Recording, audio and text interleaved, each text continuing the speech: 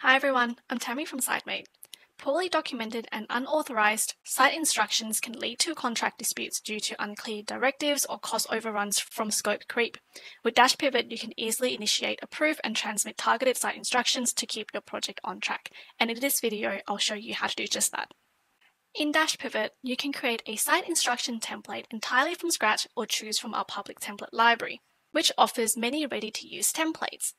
I'll search at the top here for site instructions specifically, and you can preview the format before adding it to your workspace. Keep in mind that everything that you see here is fully customizable once added. Our standard site instruction template includes fields such as the date of instruction, the type as a drop-down list, various text fields for information, a photos tab, and a default table for resources required. We then have a sign off to approve and then move on to the next section for another stakeholder to complete. Once saved, the form will be shown in a workflow view like this. Our workflow type of template progresses a form through various stages with automatic notifications to alert relevant parties. So for example, you can set up the first column to notify the engineer foreman, while the second column is for the senior project engineer and so forth. This is to ensure that relevant people stay informed. Forms advance to the next workflow stage through the approval signature. For example, I'm the engineer and I finished off my first section, so I'm going to sign this off. And if we close this, you'll see that the form is now sitting in the second column. All of these site instructions created are then automatically compiled into a register, where information for all forms are displayed in a table format. You can use filters at the top and then select them to export their data as CSV or as PDF. Editing the template format is easy. Dashpivot features a user-friendly drag and drop system, allowing you to format your template to best suit your organizations. Now, to ensure that unique and important information is captured and not duplicated, fields can be made required and excluded from form cloning, and this can be found on the top left corner of each field. Another advanced settings here is logic, which is available for yes, no fields, lists, and the approval signature. For example, this question here, when the answer is no, we've used logic to display another text field to state the reasoning. As for the approval signature, you can utilize logic to ensure that only the right people are allowed to sign or reset the workflow. For example, for this senior project engineer sign off, we want to make sure that the permission is equal to or higher than project controller and they can approve or workflow reset at this stage.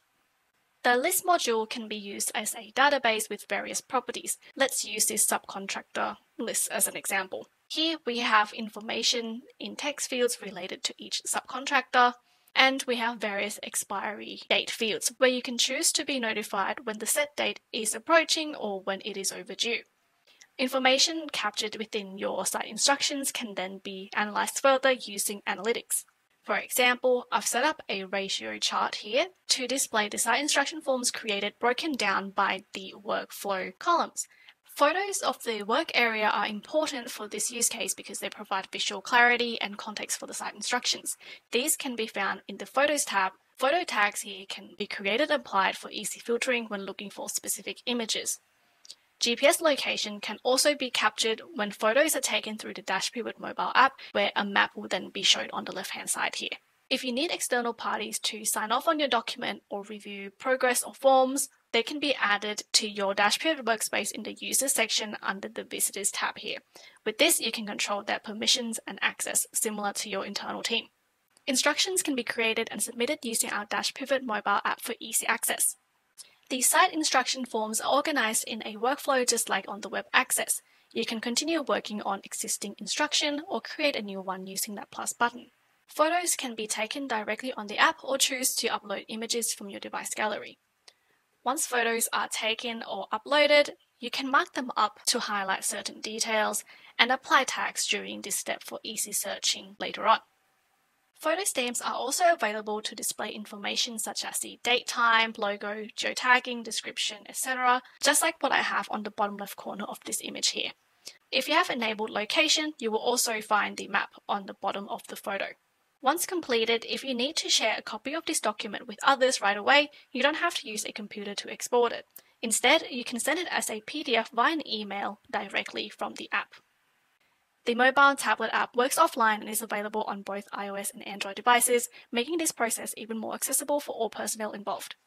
Dashpivot can be used for many other use cases and data can be synced to external tools such as SharePoint, Excel, and Power BI using our integration product Flowsite. With this, you can seamlessly transfer your site instructions data from Dashpivot to your preferred data storage or any other tools. Try Dashpivot for site instructions today using our sign up link and let us know what you think. That's it for me for this video. I'll see you in the next one.